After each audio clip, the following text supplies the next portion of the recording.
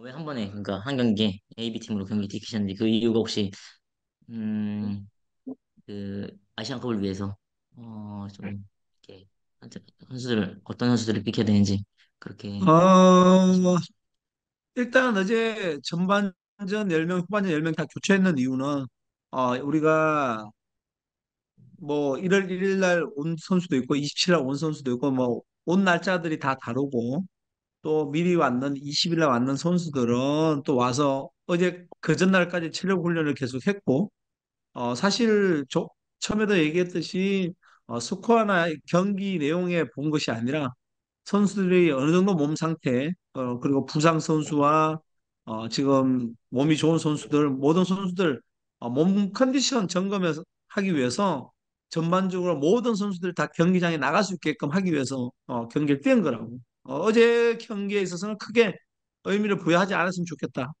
음.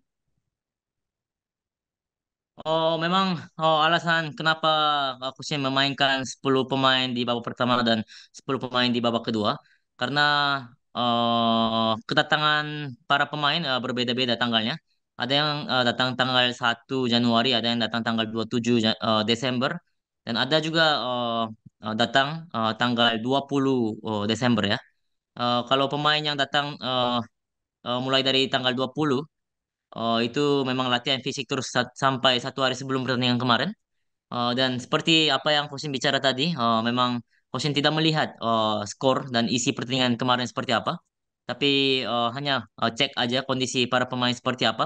Jadi maka dari itu ya Kosin memainkan eh, semua pemain eh, yang ada di, di tim ini.